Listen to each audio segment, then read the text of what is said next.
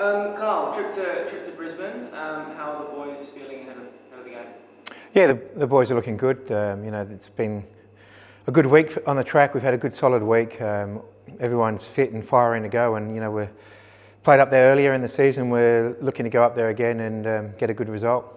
Is it kind of a blessing in disguise the fact that we've had a couple of new boys come in and there wasn't a game on Wednesday, a bit more time in the training park, be able to get acclimatised to the team and also get find their feet a bit more in the squad? Yeah, most definitely. It gave us a bit of an opportunity to explain our structures and how we play um, to the new players.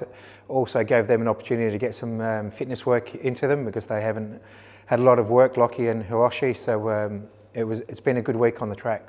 How finding it, do you think, overall? Obviously, Lockie was here previously.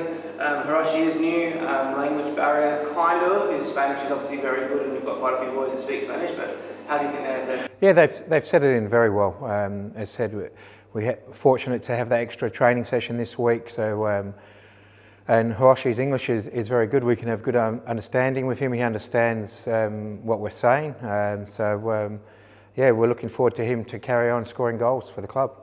There's a bit of a cameo appearance that he made um, last week, but what did you make of that, that little, little appearance? Yeah, he looked good. He was sharp. Um, he provided a good um, focus for us, and you know, again, that's what we're we were sort of lacking that, that presence in and around the box.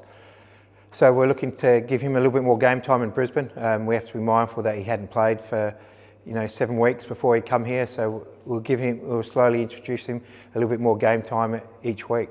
And Lockie Brook as well, how was his cameo, do you think?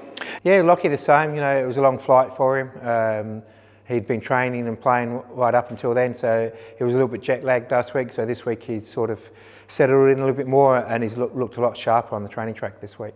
Um, and obviously, Carl, last week we had a few boys that missed because they weren't completely recovered from, from COVID, that being Yaya, um, Yako, and Mohammed. How are they looking um, and how's the injury gone? Yeah, all three boys uh, full, did full training this week and they got the full clearance from the from the dock, so they're all up for selection. So um, some of them will take place part in the game this weekend. Um, and then the three long-term injuries, Nick, James, and and Kusini, they're travelling along quite well. Um, whether uh, we know Nick won't play at all this season, and and Kusini will be touch and go, and the same as James. We'll just have to monitor, see how they they progress with their with their long-term injuries. Um, and in terms of, of, Craig Goodwin, who's been called up to the Socceroos, um, you know, from a, a, coaching standpoint, and how proud of you of him? Yeah, look, uh, Craig started the season quite slow, and, and the last uh, three or four weeks he's been excellent, back to his best, and you know deserves his selection in the Socceroos. Hopefully, he can go there and play and do well um, like he does for us for the for the national team, um, and get some goals because they they need to win these two games, and you know we wish them all the best. How much can um, a call-up like that bring to a player when he does return um, to, to you know, club football? Yeah, look, it, it's always um, a great honour to represent your country and you go away and, and, and it's a, a great atmosphere in the national teams and when you come back um, you want to take that that excitement that you've got from playing the national team, bring it back and, and show um, you know the boys what it needs, what it, it takes to play at that next level. Um, looking at the um, the game against Brisbane itself, we obviously played them earlier in pre-season and played them earlier in the season as well, but it's been quite a while since we have faced them and, and they've obviously not played too many games. They've had a midweek game. How do you see the matchup? Yeah, look, I suppose they had that four-week break because of COVID and now that we're going to be their fourth game in 11 days. So it's going to be, you know, a tough going for them. Um, uh, so we have to make sure we make it difficult for them physically. Um, you know, we have to play the game at a high tempo, um, put them under pressure. And so they've had four games now in 11 days, so we have to make sure we um, test them physically.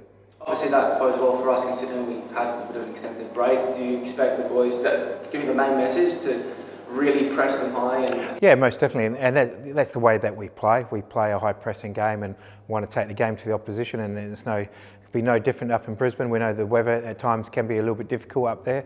But um, you know, we're going up there. We had a good result earlier in the season. Um, we're going there with full of confidence, and we need to pick the three points up.